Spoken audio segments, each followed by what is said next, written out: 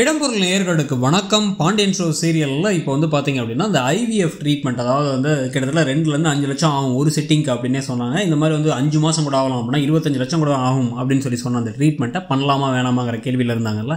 இப்போ எப்படியாச்சும் பண்ணிடலாம்னு முடிவு பண்ணது மீனாக்கு மிகப்பெரிய அதிர்ச்சியாக இருக்க போது அப்போ கையில் இருக்க காசெல்லாம் போட்டு கடன் வாங்கிட்டாங்கன்னா எப்போ வீடு கட்டுவானுங்க? இந்த கடன் அடைக்கிறதுக்கு எதனா உழைச்சிட்டு இருப்பாங்க அப்படின்னு நான் போய் நினச்சிட்டு இருந்தாங்கல்ல. அதுதான் அப்படியே நடக்கவே போகுது. அடுத்து என்ன பண்ண போகிறார் மூர்த்தி அப்படின்னா வந்து பேங்க்குக்கு நாளைக்கே கிளம்பி போயிட்டு நாங்கள் ஒரு முடிவே பண்ணிட்டோம். இது என்ன நடந்தாலும் சரி மாற்ற போகிறதில்ல அப்படின்ட்டு இருக்கிற எல்லா பணத்தையும் எடுத்து போகிறாங்க இது இல்லாமல் ஜீவாவும் கையில் காசில் இருக்க இருக்க காசெல்லாம் கொடுக்க போகிறாரு அவரோட கை காசா இல்லை வேற எங்கேயாச்சும் ஜனார்த்தனோட காசா? இல்லை வந்து அவர் ரெண்டு லட்சம் கொடுத்து வச்சார்ல அது மீனாட்டை இருந்துச்சு அந்த காசாங்க அது தெரியல.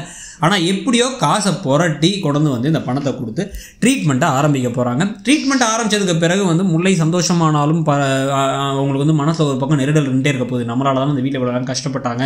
இவ்வளோ தூரம் அஞ்சு லட்சத்தை போய் திடீர்னு புரட்டியிருக்காங்களே அப்படின்ட்டு. ஆனால் இந்த வாரத்துக்குள்ளார அந்த ட்ரீட்மெண்ட்டை முழு மு- முழுசாக முடிச்சுட்டு இந்த ட்ரீட்மெண்ட் சக்ஸஸ் ஆச்சா இல்லையா அப்படின்னு வெயிட் பண்ணுறது அப்படின்னு வைக்க போகிறாங்க ஆனால் அந்த கதையை இதுக்கு மேலே வந்து இழுக்கணும் அப்படின்னா வந்து இப்பயும் ஒரு பிரச்சனையாச்சு. இல்லை அதுவாக வந்து ஏதாவது நடந்துச்சு அப்படின்னு வைக்கலாம். ஆனால் அப்படி இல்லாமல் கதை இப்போ எப்படி போகும் அப்படின்னு நமக்கு தோணுதுன்னா இந்த ஒரு சிட்டிங்லேயே வந்து அவங்க குழந்தை ஃபார்ம் ஆகிடுச்சு அதுவும் ரெட்டை குழந்தைங்களா ஃபார்ம் ஆகிடுச்சு அப்படிங்கிற மாதிரி கதை கொண்டு போகிறதுக்கான வாய்ப்பு இருக்குது அப்படின்னு சொல்லி தோணுது. உங்களுக்கு அப்படின்னா ஓகேவா ஆனால் பணத்தை செலவழிச்சிட்டோங்கிற நெருடல் ஒரு பக்கம் இருந்தாலும் சந்தோஷம் ஒரு பக்கம் அப்படின்னு சொல்லிட்டு பிட்டர் ஸ்வீட் அப்படிங்குவாங்க. ஒரு சந்தோஷம் ஒரு வருத்தம் அப்படின்னு சேர்ந்துருக்க போது ஸோ அதை பற்றி நீங்கள் என்ன நினைக்கிறீங்கிறத கமெண்ட் செக்ஷனில் சொல்லுங்கள் தேங்க்யூ இடம்பொருள்